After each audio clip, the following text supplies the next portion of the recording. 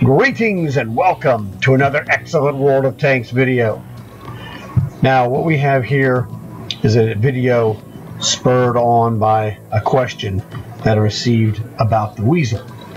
And the guy said, well the Weasel looks like it's fun, but he wasn't sure he'd like to get one, but it is kind of expensive. And I said, well, the thing that you really need to do, I think, the simplest way to test if you're compatible with the Weasel is to run through the BMP series. Get your way up to BMP3, which is what you see here. Now you see my Weasels in the background in my garage. And the reason I say this is because Weasel is really expensive, about 14,000 gold. You don't really want to buy it and then find out, well, you know what? I don't like the way this plays.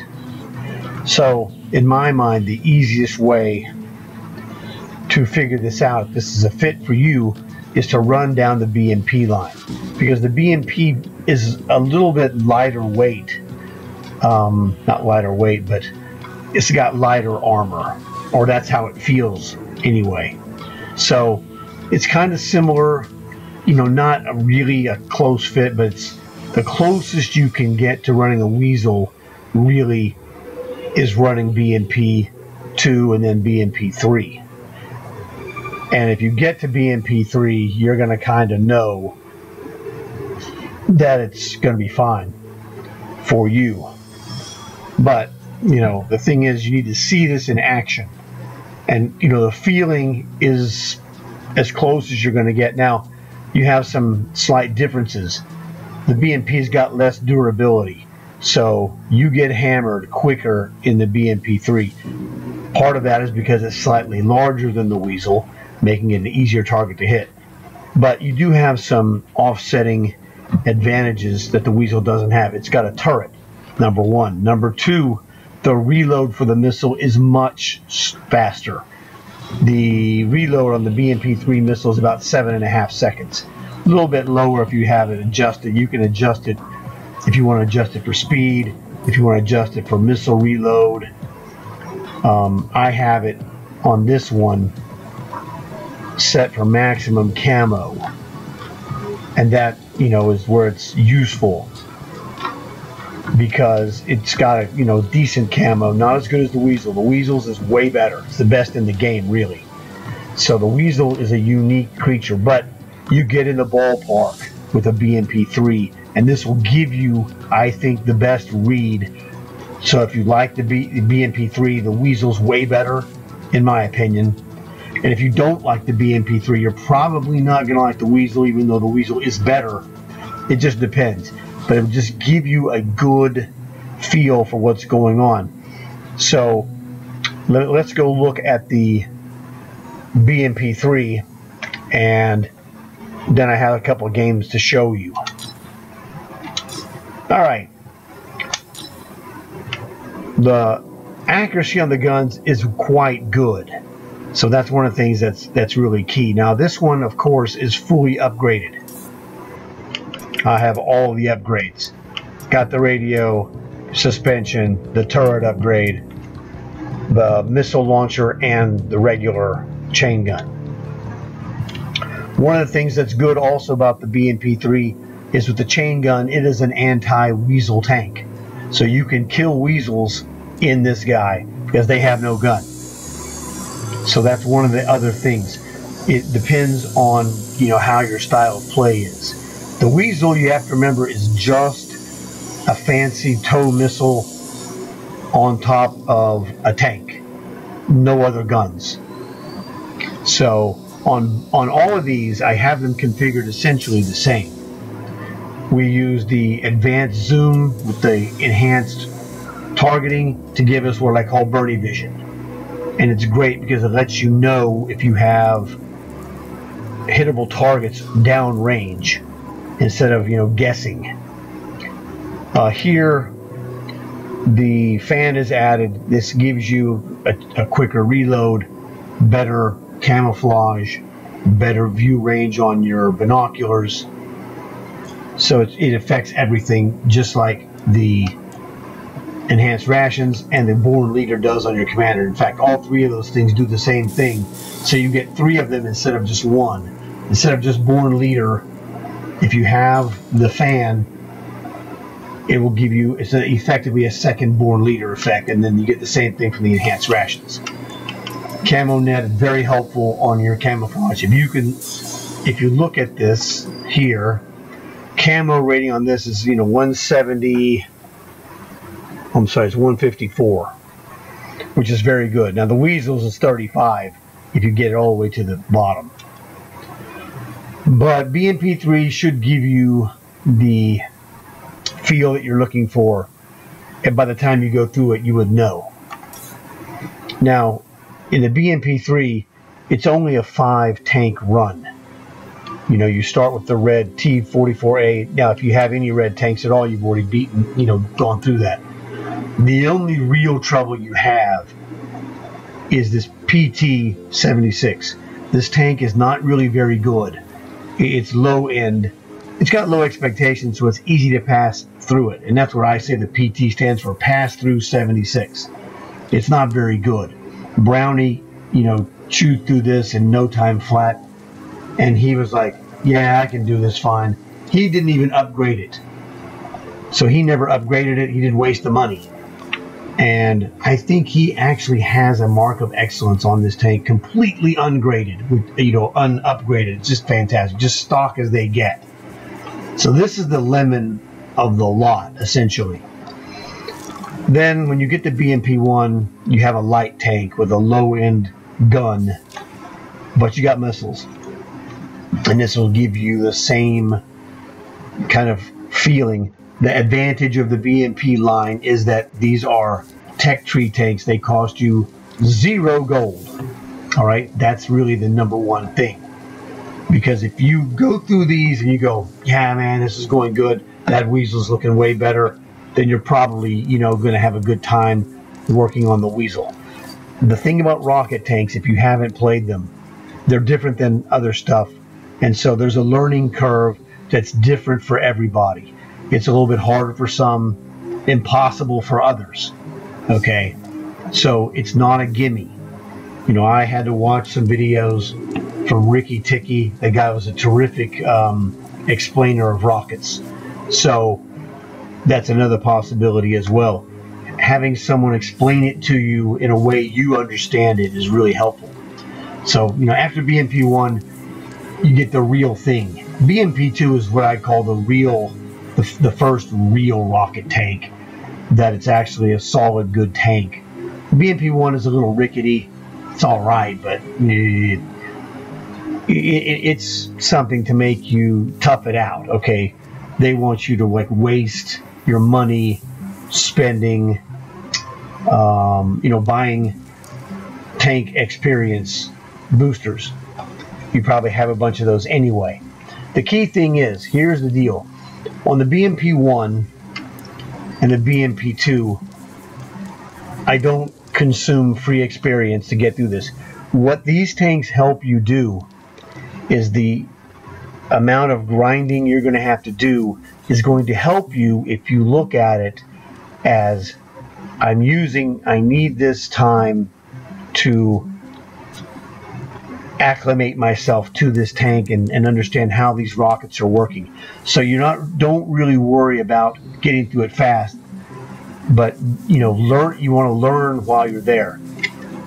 And there's another thing you can do if you're not doing very well, say in the BMP1, because the, the rockets are new to you, if this is the case, go to co-op. So watch this. Let's go back out here. So in Cold War multiplayer, if you go co-op, you'll play with three to eight people, maybe more if there's more guys on, against 15 robots. So you'll have a 15 on 15, but the only people will be on your team and co op is a tremendous battleground to study what you want to do with rockets and try to learn the intricacies of how it's going. I took Bernie to co op, and we did maybe eight or ten games because he wasn't a rocket guy and I was showing him rocket stuff. And after we went from co op to multiplayer, he was doing great.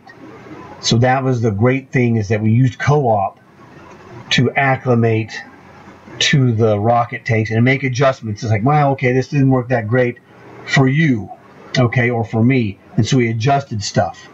And you learn how to make it work for you because that's the most important thing. How it works for me is great for me. It may not be great for you. You know, I did it myself the hard way, all multiplayer. And it wasn't until I was thinking about it with Bernie because he was like, Well, I haven't played Rockets very much. And I was like, Really? And like, let's go do co op. And then I was like, I'm an idiot. I should have done co op first for myself. You know, mistakes were made, as they say. So that's a, a helpful training ground.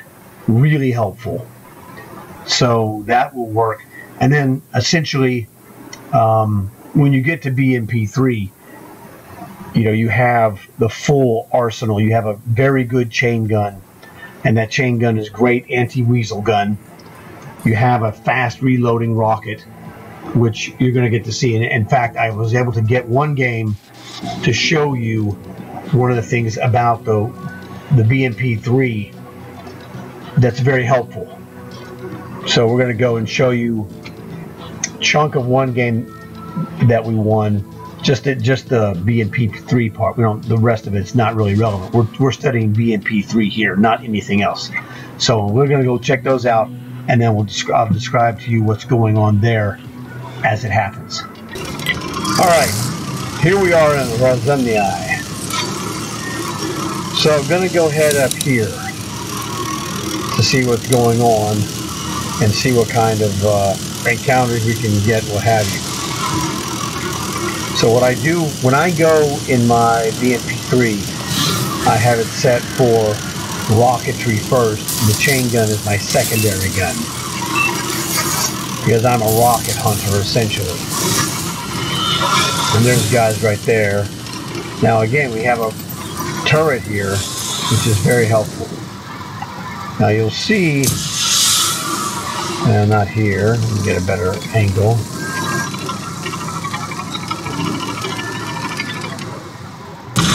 You're going to see the Bernie vision.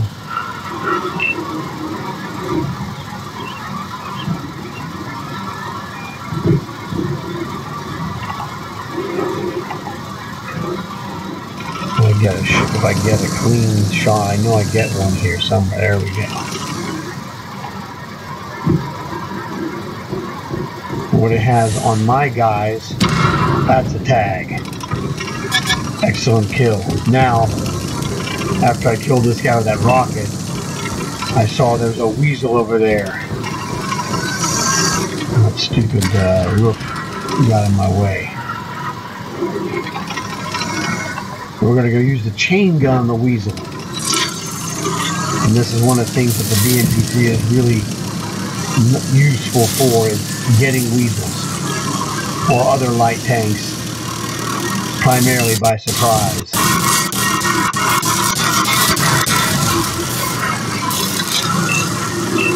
So he dropped smoke and I'm circling him. And then I got annihilated. And this is one of the weaknesses of the BMP3. It's weaker in durability than the Weasel. And in a Weasel, that probably doesn't kill me in one shot.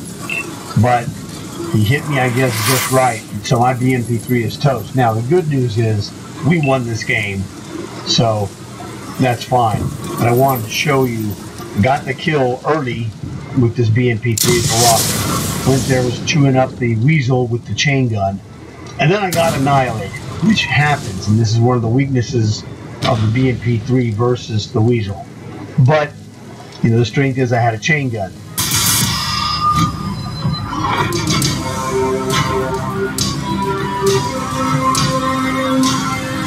So luckily I was on a good team and they came through and cashed in the win.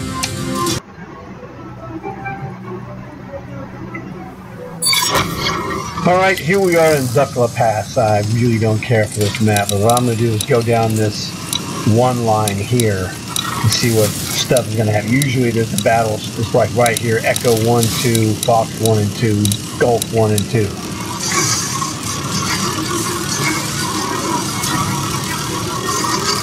So we'll blaze down here right along the dotted line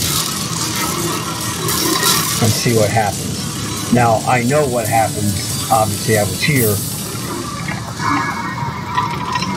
There's a guy just below the horizon. So that's not a problem. We're going to move up. I got plenty of dudes to help, which is key.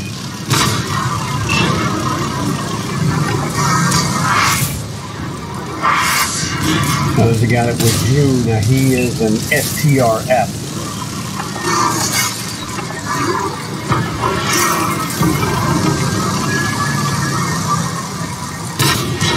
There's his toe right there. Tagged him right in the toe. Near the front of his tracks.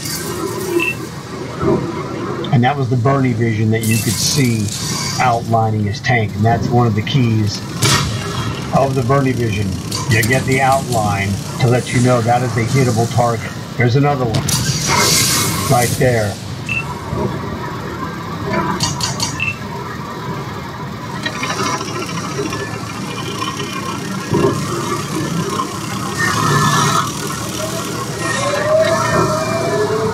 Tag. Hardcore. So this is the same kind of thing that basically happens in any rocket sniper tank. But BMP3, you know, light tank, quite mobile. But as you saw in the last game, its durability is not good. But that's okay in the context of showing you what I had told you, you know, in the in the garage at the beginning of the video. They have pluses and minuses, and the, the durability of this tank is not too high. I got over here, made a killer shot on that guy, and then was backing up, and then I almost dropped the smoke, but I didn't think I needed it. And then I got tagged. Oh, Jesus, I'm still alive. Another good example. That guy really reamed me with that rocket. But luckily I didn't die. It was close. So these are, you know, a couple of good examples of what happens in a BMP3. I don't play the BMP3 very much because I have a Weasel.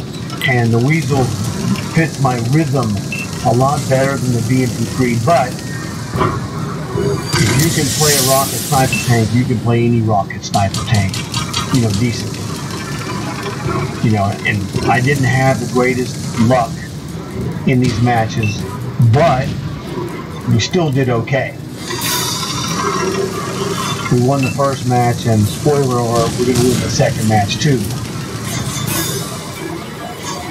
You know, I'm not really, you know, I don't amount to a hill of beans. At this point, there's only three guys left, and you're just not going to get anything here. But that's okay. I'm not worried about that. I'm here primarily just to show you kind of like a day in the life of BMP3 to give you an idea if you're considering this whole weasel concept that I think this is really the best way. Now you can use other rocket tanks as well.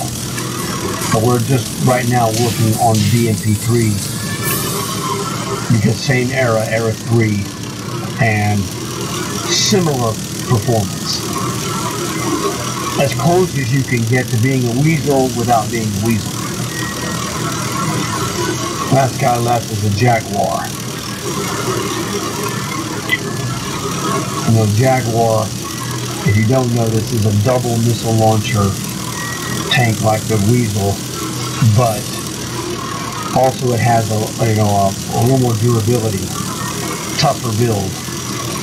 Plays like that you know rack rack Jagdpanzer 2, that which is another great tank, the Blue Nation. That's another great line of tanks to consider. But like I said, today we're doing a day in the life of BMP3.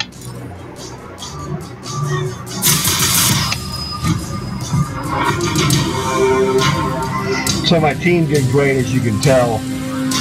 That K that K1 he kicked mega butt with a P cell, and the other BMP3 had a really nice game there. So congratulations to him. That's kind of a bonus. So this is the BMP3 just to give you an idea of what you might expect. And if this appeals to you, that'll help you uh, in the BMP. Uh, I'm sorry, in the quest for preparing for the weasel. Because I, I'm just telling you, one of my friends has the weasel and he can't play it worth a crud, and he's got a mental block uh, about learning to play it better. And it's like I can't help you, but you know, if he'd have had this video kind of idea, it might have helped him. You know, because I don't want anyone to buy an expensive weasel and then go, oh man, I can't play this thing. It's different. It's not easy. It's it's like a light tank, but it also has those monster missiles. Now there are other light tanks as well that you can use, but the main thing here was to get the closest we could, and the BMP3 is a short line of tanks take a couple of weeks or less, depending on your assets. You know, if you have a bunch of times two or times three tank XP boosters, that'll help you a lot if you've acquired them over the over the years and you just uh, you don't use very many. Now, one of the things I will tell you when you're going through tank lines, I don't recommend blowing free experience. That's your business.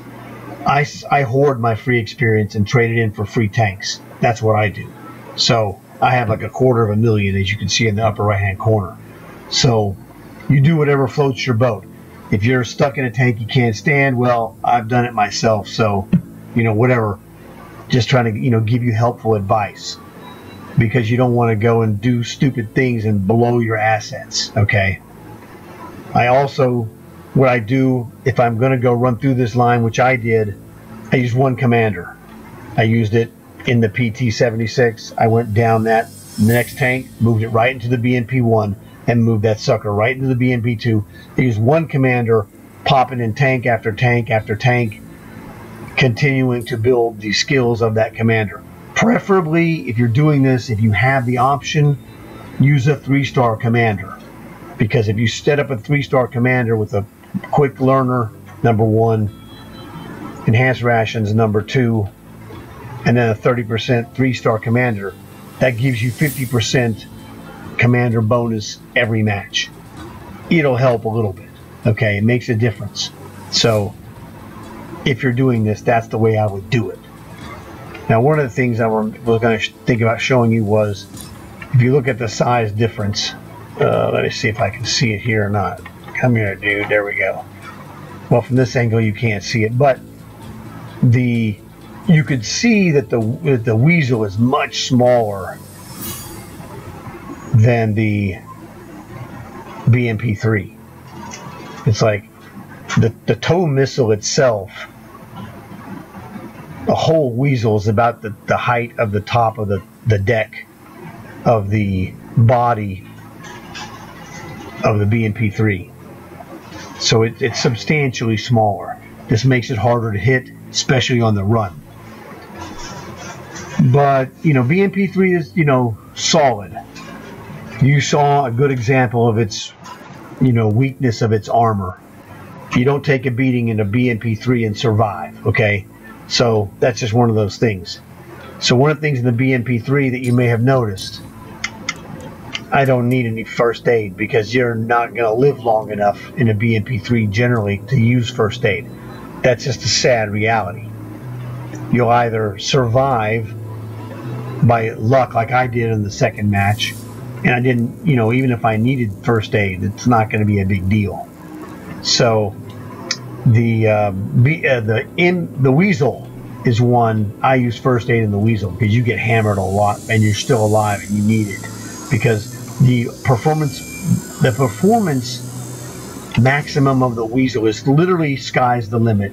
It's way up there. BMP3, its top end performance is much less than the top end of the Weasel. You know, no matter what your level, if you're average, above average, even or great, the Weasel performance top end is way better. But the BMP3 is useful and it is effective. And if you're if you get good at it, it's a butt kicker in its own right to a lesser degree. Conversely, you know, it's it's relatively easy to make long hauls. Rel- you know, I'm not saying it's easy, but it's easier maybe than the Weasel, depending on your skill set and the way you play it. It's a it's a it's a fairly useful tank. So this pretty much covers everything I wanted to tell you guys about the BMP if you're considering going for the Weasel because like I said, it's free as long as you don't throw away your assets. Don't you know I don't I wouldn't say go buy a bunch of boosters to go through it. That kind of defeats the purpose. But you have all the elements you need here. So, you know, use boosters if you have them, but I wouldn't buy any for it because it's not that big of a deal. I also would save, for the most part, my free experience. Again, that's just personal adva- advice.